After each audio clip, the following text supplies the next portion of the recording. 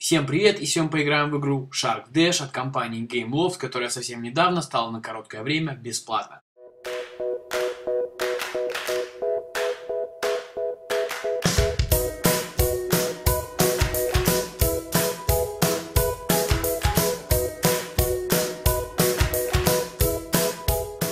В главном меню мы найдем количество звездочек, собранных на уровнях, дальше количество денег, подключение к аккаунту Gameloft, магазин, в котором вы сможете себе купить новых акул, докупить монет, а также прикупить вспомогательных эликсиров.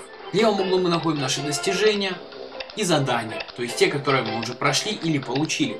Справа настройки, там можно найти настройки звука, узнать информацию об игре, а также языки, русский в их числе. В самом начале нам покажут небольшую предысторию, прям как в Angry Birds, в которой коротко расскажут о том, что же случилось и что их подвинуло на это деяние. Если это все выразить в нескольких словах, то подружку Салли, нашего главного героя Акулы, похитили эти самые утки. И опять повторю, что сценарий очень схож с Angry Birds, то есть почти то же самое. Только что на воде, и вам надо будет собирать уток. А вот и первый уровень. Чтобы запустить рыбку, надо потянуть ее за хвост, ну и соответственно направить, куда вы хотите, чтобы она полетела.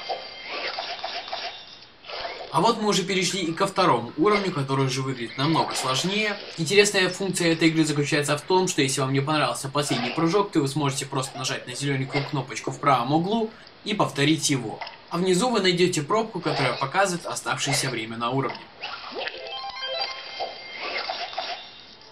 Gameloft назвала свою игру физической головоломкой, и вы знаете, я согласен. Физика в этой игре классная. Все тут предсказуемо и логично.